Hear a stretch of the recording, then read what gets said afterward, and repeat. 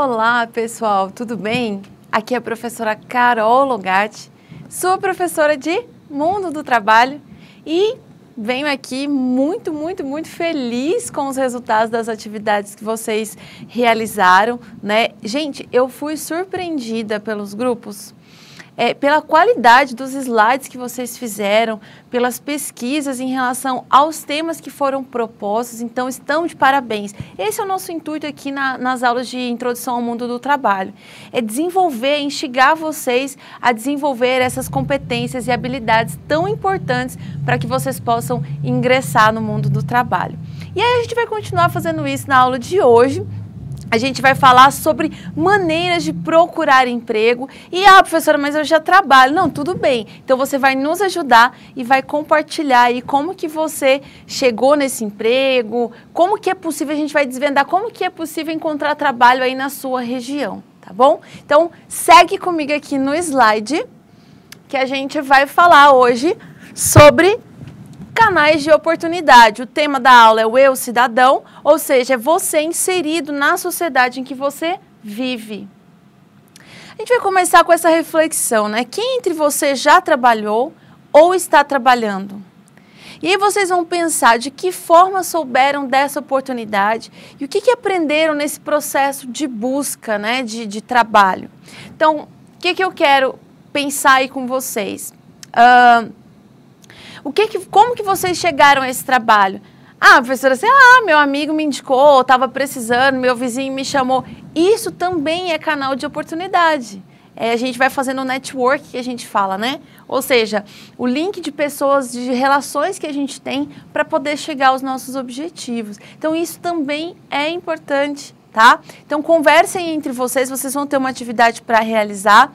Por quê? A gente ouve muito falar assim: ah, o índice de desemprego, principalmente pós-pandemia, né? Já viram como teve queda aí de, de, de, empregos? Porque as empresas perceberam, eu falo empresas no geral, né? De todas as áreas. Perceberam que ao home, home office, né?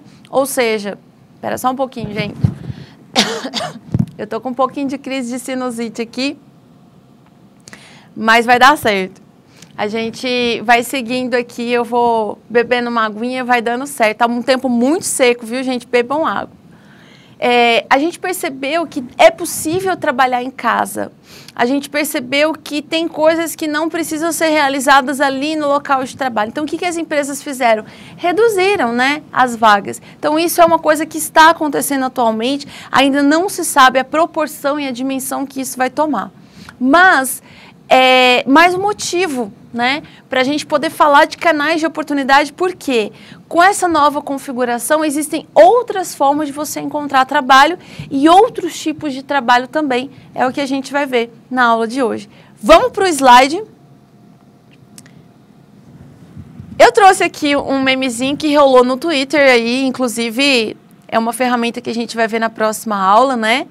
Ah, todo felizinho lá, há vagas. Aí você vai ver os requisitos básicos para poder assumir essa vaga ou concorrer a essa vaga. Ter seis anos de experiência, ter estudado nas universidades de Harvard, Massachusetts, Oxford, né, ter visitado a NASA, ter matado três dinossauros, ter formação em agronomia, advocacia, teologia, fibromialgia, que nem é nada, né? Observação, só serão aceitos candidatos nesse perfil. Salário, R$ 927,58. A cara da frustração, obviamente, né? Mas, gente, a gente ri, mas é de nervoso, porque realmente, muitas vezes, as vagas têm inúmeras uh, exigências que tem gente que fala assim, pô, como é que eu vou ter ah, tantos anos de experiência se eu quero começar agora? Então não precisa ter experiência, não precisaria, né? E quando você vai ver o salário, é bem pequeno e parece que não compensa, isso dá uma certa desanimada. Por que, que eu estou comentando sobre isso? Normalmente o que acontece? Uma frustração em relação à área que você escolhe trabalhar. Às vezes você escolhe um curso, faz lá o curso, ganha um certificado, mas de repente você vê aí, que nem a gente acabou de ver, inúmeras exigências para poder ingressar nesse mercado e o salário não compensa. E aí você vai e começa a fazer então uma coisa que te dá mais dinheiro, mas aí acaba não te trazendo a satisfação que você gostaria. Então, é importante vocês refletirem nesse momento essa trajetória de vocês e ter consciência. Ah, professor, então eu não posso trabalhar fora da minha área. Lógico que pode. O que você precisa é ter a consciência de objetivos. Eu mesma fiz isso. Em um determinado momento da minha vida, eu já tinha até especialização na minha área, mas eu precisava pagar minha casa. E aí eu não estava conseguindo com o que eu estava fazendo, né? De, das escolas, eu dava aula em escola particular. O que, que eu comecei a fazer? Eu fui trabalhar de call center, eu fui trabalhar em outro lugar, eu fui juntar dinheiro para um objetivo. Então, isso é uma coisa, tá? Então, a gente tem que ter objetivos claros em mente para poder saber para onde a gente vai e qual é o nosso tempo determinado naquele lugar. Às vezes você já está trabalhando, você está tá trabalhando porque é um negócio de família, por exemplo. Quer dizer que você vai ter que ficar ali a vida inteira? Não necessariamente. Você pode estar ali, pode aproveitar o máximo, tirar todo o aprendizado que você puder naquele lugar. Mas se você almeja outra área, você tem então que estabelecer a sua trajetória tá bom? Então vamos seguir aqui, que vocês vão fazer uma dinâmica. Eu vou explicar essa dinâmica aqui agora, que é a dinâmica buscando emprego por uma semana. Vocês vão se organizar em grupos e cada grupo vai propor um planejamento para a busca de emprego, né? É algo simples, mas importantíssimo. Vocês vão indicar cada dia da semana um meio a ser empregado para essa busca. Por exemplo, aos domingos. Tem como ir procurar emprego domingo? Tem. Você vai lá no jornal, né? Tem os classificados lá e você pode pesquisar quais são as vagas que te interessam. Aí vocês vão fazer como se fosse uma tabela, eu vou mostrar aqui. Vocês vão indicar o maior número possível de e-mails que estão disponíveis na sua cidade. Ou seja, como que eu posso buscar trabalho na minha cidade?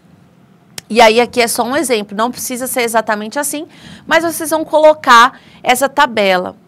E no sábado vocês vão deixar para outras atividades, assim, uh, algo que é lazer, algo que você possa fazer o seu network, que também é uma forma de conhecer. Conhecer pessoas também é uma forma de procurar emprego, né? Depois vocês vão apresentar essa conclusão aí para toda a turma de vocês. Aí, olha só. É, por que, que eu quero que vocês tirem um tempo para fazer isso, tá? E principalmente aqui no Goiás Tech, nós temos, como eu sempre falo aqui, nós temos várias realidades, tá? Por isso que eu não consigo ser muito específico, eu estou sendo mais abrangente, e aí vai os professores mediadores que vão conduzir melhor vocês nessa atividade. Porque cada cidade, cada região tem uma característica específica que vai proporcionar uh, ofertas de emprego, em determinadas áreas. O que precisa ficar claro para vocês enquanto jovens, né, que estão iniciando aí a carreira, digamos assim. Vocês precisam começar a ter claro para vocês se no seu ambiente, se aquilo que você vê como oportunidade não te agrada, não é oportunidade, então você não tem que desanimar, desistir. O que, que você vai precisar fazer? Bom, na minha cidade não tem. Então eu vou ter que procurar uma cidade em que tenha a oferta de trabalho que eu espero. É isso que as nossas aulas, uh, para isso que as nossas aulas servem, para que você possa refletir o que você já tem à sua volta, a vida que você vive e ser grato por ela, diga-se de passagem, né? Agradecer aí tudo que você já conquistou, aprendeu e tudo mais, mas perceber que se você está meio desanimadinho, até com os estudos, tem gente que vai chegar na segunda série, é punk, gente. Primeira série é empolgação, terceira série você fica naquele cansaço, mas você quer terminar logo. Segunda série é o ó do borogodó. Vai dizer que não é. Porque você está no meio do caminho, né? Aí dá um desânimo, dá um cansaço. Quem trabalha, então, nem se fala. Ah, já estou trabalhando mesmo, para que, que eu quero continuar os estudos? Então, para, respira, não pira. Nossas aulas servem para esse descanso para vocês, para essa pausa de reflexão. Mas não é uma pausa de deitar e pôr a perna para cima. É uma pausa ativa, em que você vai refletir, ponderar e traçar aí seus novos caminhos, tá bom? Então vocês vão fazer esse levantamento, vamos chamar isso de um levantamento de canais de oportunidade aí na sua cidade. E aí vocês vão apresentar uns para os outros. O mesmo grupo vai fazer o seguinte agora, olha aqui no slide. Lá na apostila de vocês, tem a página certinha aí com os mediadores. Vocês vão analisar as opções a seguir. São exemplos, tá, gente? Aqui são exemplos de canais de oportunidades. E aí, em cada um desses nove que estão apresentados lá no texto de vocês, tem os pontos positivos e os pontos negativos de utilizar esse, esse canal. Então, anúncio em jornal, anúncios na internet, cadastro de currículo em site especializado cadastro direto no site de empresas que estão contratando na área que você deseja, redes sociais, que vai ser nossa aula que vem, como Twitter, LinkedIn, Instagram, né, entre outros, se vocês souberem também. Entrega de currículo pessoalmente, que é muito válido ainda. Indicação de amigos, centros de agências, é, centro ou agências de emprego aí que ainda tem bastante, né? E feiras de emprego de estudante que dão oportunidades para vocês. Aí o que, que vocês vão fazer?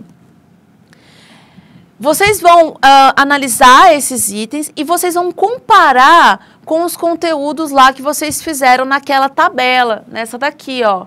Então, vocês primeiro vão fazer a de vocês, e aí o mediador vai saber se dá uma pausa e depois continua. Vocês é que vão definir aí na sala, tá bom?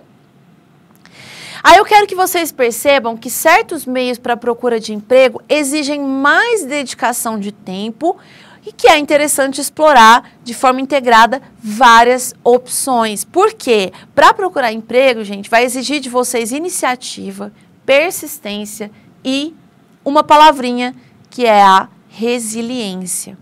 Então vejam, é, Parece simples, mas tem muita gente que não sabe nem por onde começar, porque às vezes não tem ajuda, porque às vezes é muito tímido. Então, quando vocês fazem essas atividades em grupo, além do conteúdo que a gente está trabalhando, vocês também estão trabalhando as competências e habilidades de vocês, tá bom? Então, eu vou deixar vocês para fazer a atividade agora e eu gostaria de receber. Quem quiser me mandar, tem alguma coisa diferente, diferente aí na cidade de vocês, vocês fiquem à vontade para me mandar bom? Então, boa atividade, a gente se vê na próxima aula. Tchau, tchau.